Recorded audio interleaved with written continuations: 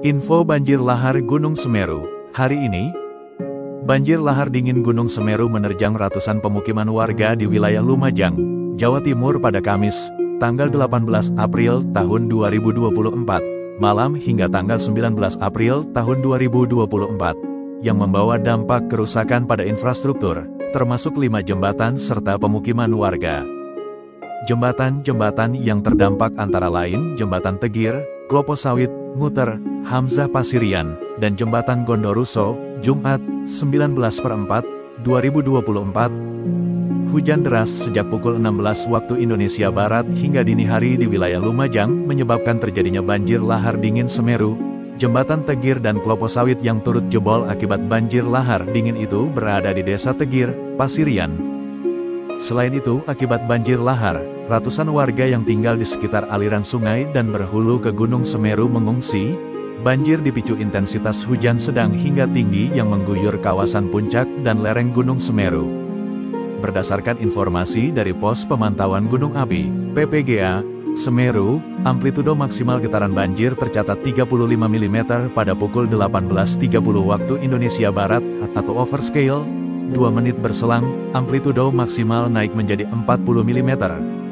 Ketua Tim SAR Kecamatan Candipuro, Kabupaten Lumajang Budi Hartono mengatakan, banjir lahar Gunung Semeru kali ini cukup besar. Kondisi di daerah aliran sungai, Das, Semeru membuat warga sekitar sungai mengungsi. Ada ratusan warga yang mengungsi ke tempat aman.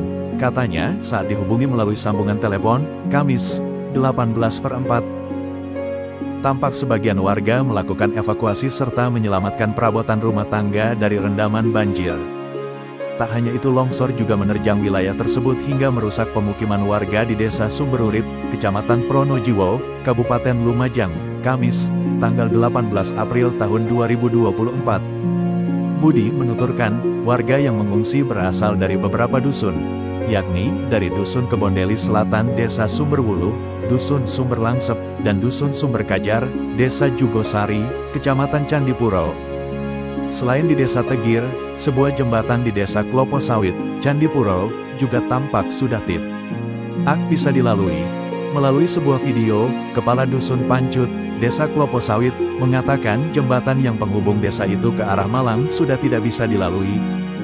Jembatan lintas yang ada di desa kami menuju Lumajang Malang sudah terputus, jadi pada malam hari ini sudah tidak bisa dilewati. Ucap Kadus Pancut dalam video amatir warga. Sebelumnya, banjir lahar dingin Semeru melanda sejumlah das di Lumajang membuat jembatan Gondoruso terputus. Jembatan Gondoruso adalah jembatan yang ada di Kecamatan Pasirian. Putusnya jembatan ini mengakibatkan akses dua desa di kecamatan itu, yakni Desa Gondoruso dan Desa Pasirian terputus.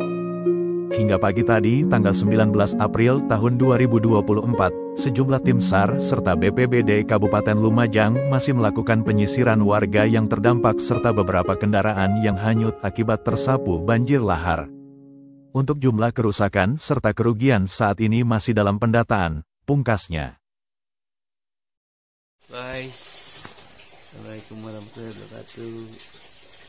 Hari ini tanggal 19 April 2024 ini burung kesayangan saya ini lagi bodol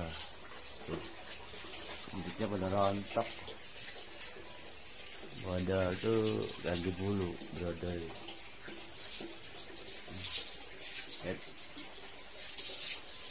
Oh, ya jadi nggak berbunyi. Biasanya ini sekitar dua minggu baru pulih lagi oke guys. Cukup sekian info dari saya. Assalamualaikum warahmatullahi wabarakatuh. Halo. Diem baik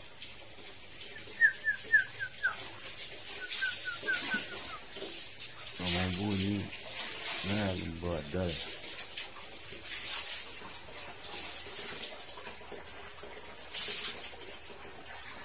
tinggal satu lembar bentuknya